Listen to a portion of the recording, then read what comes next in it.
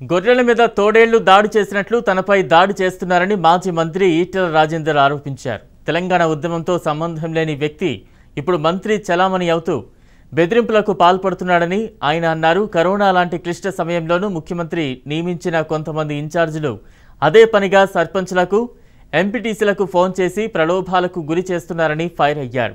Corona పేషెంట్లను కాపాడడం వంటి పనులు చేయండి. ఇలాంటి చిల్లర పనులు చేయకండని హితవు పలికారాయన. ఏళ్ళుగా ఉద్యమాన్ని కాపాడి కార్యకర్తలను నాయకులని కోడి కథ రెక్కల కింద కమ్ముకున్నట్టు కాపాడుకుంటే తల్లిని పిల్లను వేరు చేసేటువంటి దుర్మార్గమైన ఆలోచనతో ఇవాళ మా నాయకులని కార్యకర్తలని దూరం చేసేటువంటి కుట్ర చేస్తున్నారు. ఇది చెల్లదు కాక చెల్లదు.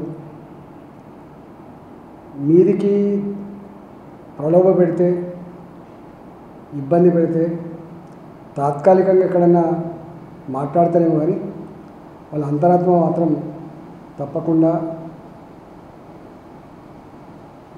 నాలాంటి వాళ్ళ మీదనే ఉంటుంది తప్ప ఇరవై ఏళ్ళుగా వాళ్ళ జీవితాలతో నేను పెనవేసుకున్నా నాతో వాళ్ళు మంచి చెడు ముందుకు నడిచిండ్రు.